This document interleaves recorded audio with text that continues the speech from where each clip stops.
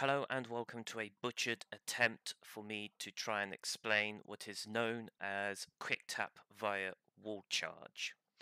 The concept is by exploiting the NES Tetris um, mechanics in a way that allows you to effectively quick tap pieces over to the left hand side without losing DAS.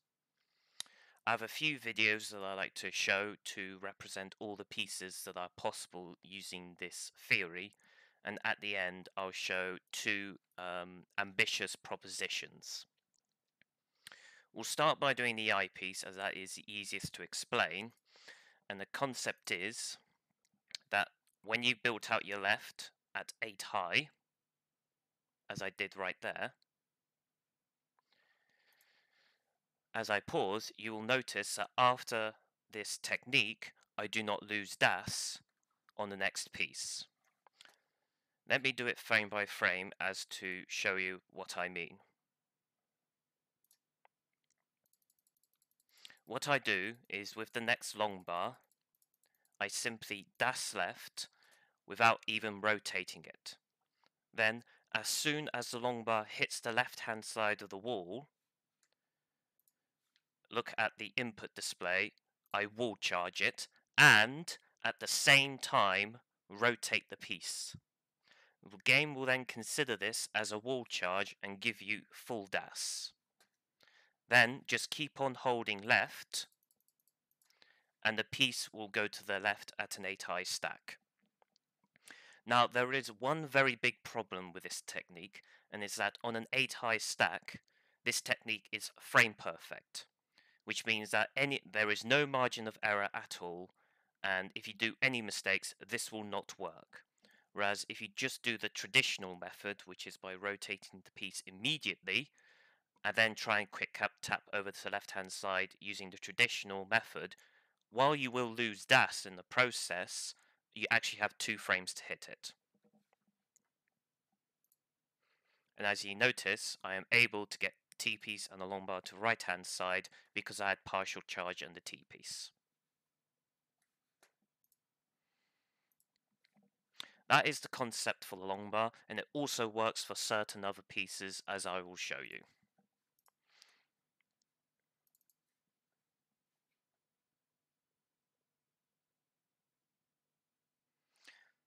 I have built out the second column at an 8 high and you will notice something very very interesting. Let me go back a little bit and pause right at this bit, this area and do it again frame by frame. You'll notice the J hits the wall and then one frame later you let go and then hit it again to represent a wall charge and rotate it at the same time. The game will see this as a wall charge, and then one frame later, the J will go over to the left-hand side. Now, there is one thing to consider, and it is entirely possible for you to then wall charge instead on the right-hand side by simply doing the opposite, by doing a right, and then noticing the OPC, then do a left again. This is something that some players may consider as better, and it is up to you to decide whether you want to do that or not. However, with this method, you only need to consider pressing the left and you don't need to worry about the right hand side at all. And as such, because of that, because of the J piece has to fall down two more blocks, you then have enough DAS to get the square over on a 9 high left, which is the maximum possible even if you had full DAS. As you can see. Now let me show you something that will not actually work and that is the S piece. The S piece is actually one exception that will not work with this technique and I can show you why.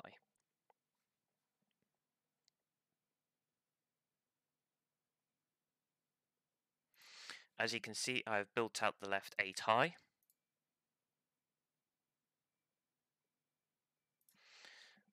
And you'll notice that I hit 8 high but you'll notice a big problem, which is this little hole right here. Although I keep DAS, you'll know, you'll know that there is one big problem with this. And let me do it frame by frame this time round.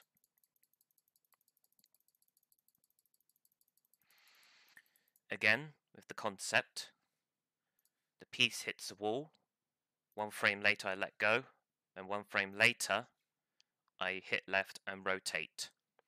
And you immediately see the problem here, which is that there, is that there is no conceivable circumstance where you will put this Fs on the left hand side on an 8 high using this method.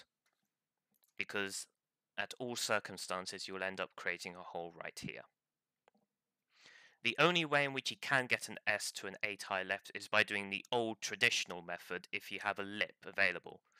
Because you don't need to worry about this little space because you just rotate it first hand. Let me try and show you here. There you go. This is occupied by here, which means that if you do the old method of just quick tapping immediately, this would not be occupied by this. Instead, I'll show you what will work, and, and unfortunately that is a 7 high.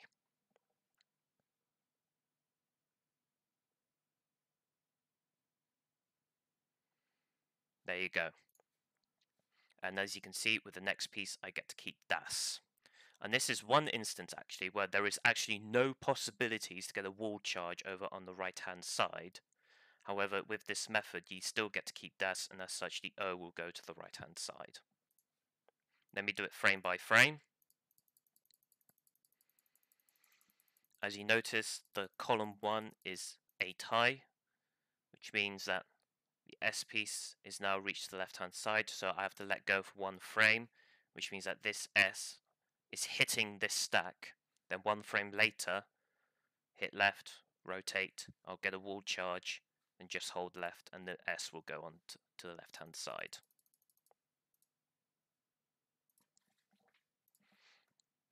Alright, now I can show you the rest of the pieces. The L piece.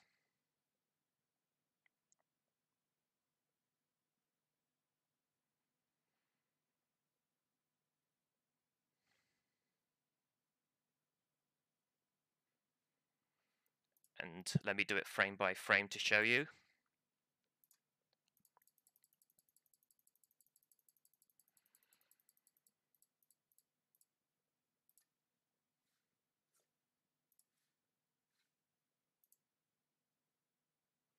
Now it is important to notice that in this case for the L piece, your third column can also only be 8 high.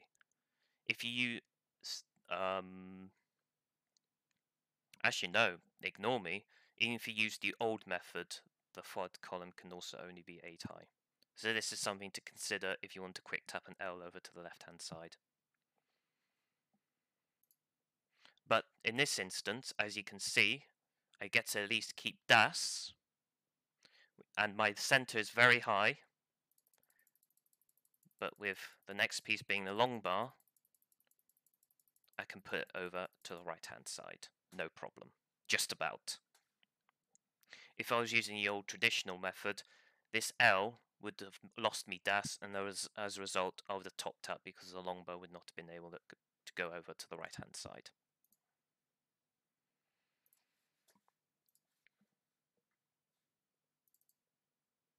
Now we're on to the T piece.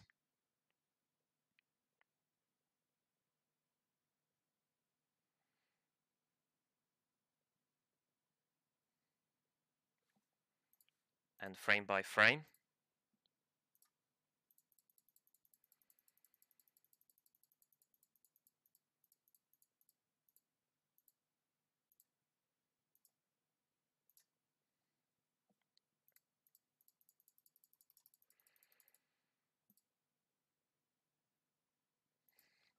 Now, the T-piece is another instance where it is possible to get a wall charge by doing the right-hand side in here. However, this is even tighter than the J-piece. Uh, while some players may consider this to be better, it is up to you to decide whether you want to do this method or the traditional method. And finally, we have the Z-piece.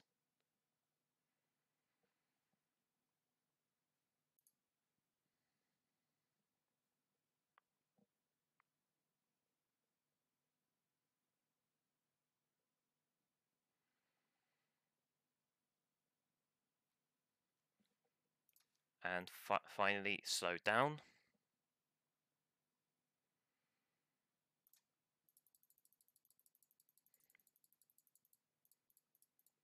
Once again, just DAS left. One frame later, let go. Next frame, rotate. And then, because I have full DAS on the next frame, it'll hit 8 high.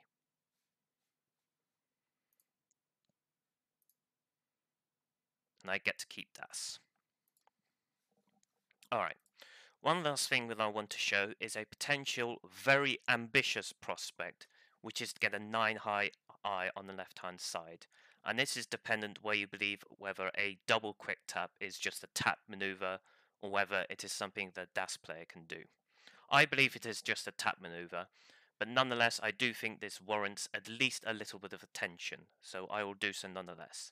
This is doing so using what would be the traditional method of just rotating it immediately and then just doing a traditional double quick tap.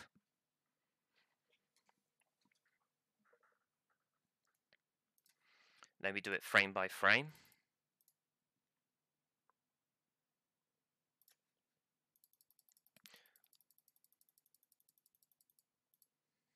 Oops, I did a little bit too quickly. That's my fault.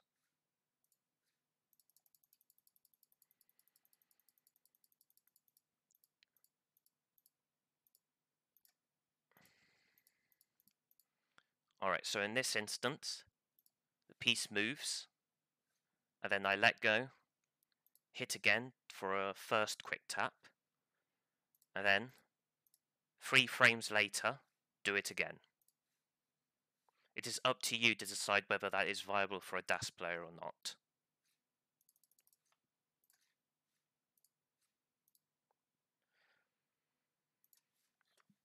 And then finally, the proposition using the wall charge theory is by doing it like this.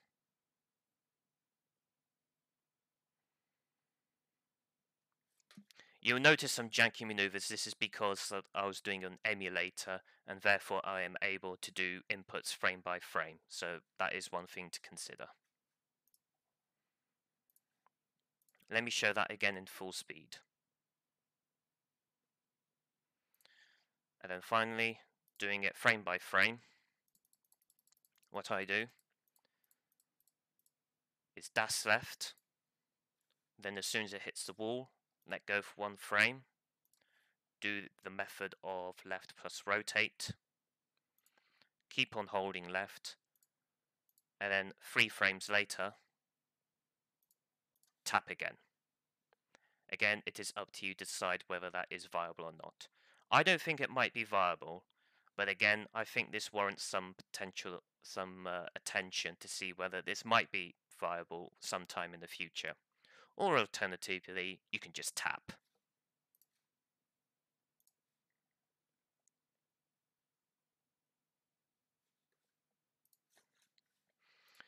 Alright, I have showed up all the examples and that is everything that I want to show. So if you're here this far, thank you so much for watching and I bid you all a very nice day.